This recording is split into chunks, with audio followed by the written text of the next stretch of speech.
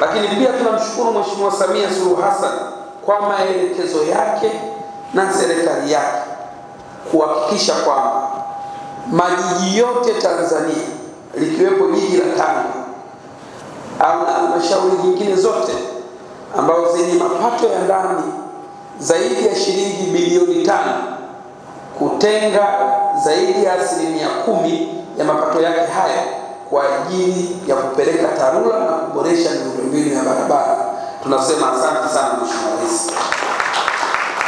Lakini tunawapongeza Tanga jiji kwa kukubali na kusikiliza na kutekeleza maelekezo hayo ya Mheshimiwa Rais kwa vitendo kwa kutoa shilingi bilioni moja na milioni mia mbili na sitini kwa ajili ya ujenzi wa barabara ya kiwango cha lami ya kilomita mbili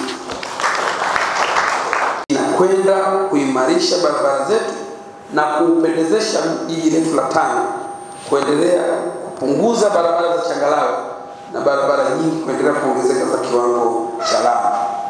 Hii ina faida kubwa sana kwa wananchi wa mkoa wa Tanga, hususan wa jiji la Tanga, kwa sababu inatoa uhakika wa barabara zetu au barabara zao kuweza kupitika mwaka mzima, hata wakati wa mvua, hata zile mvua za masika. George Tarimo ni meneja TARURA mkoa wa Tanga, ameelezea utekelezaji wa agizo la rais ulivyotekelezwa katika halmashauri ya jiji la Tanga. Natoa shukrani sana kwa mkurugenzi wa jiji.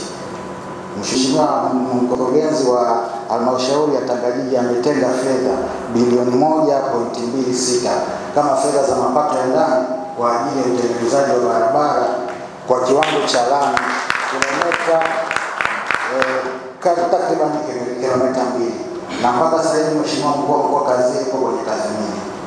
Kwa hiyo ndani ya mwishoni mwa mwezi huu tutakuwa na mkandarasi katika kazi hiyo. Mwishoni mwa mwezi huu ujenzi wa baadhi ya barabara ndani ya jiji la Tanga utaanza na tathmini inaendelea. Pamela Chaula, Tanga TV.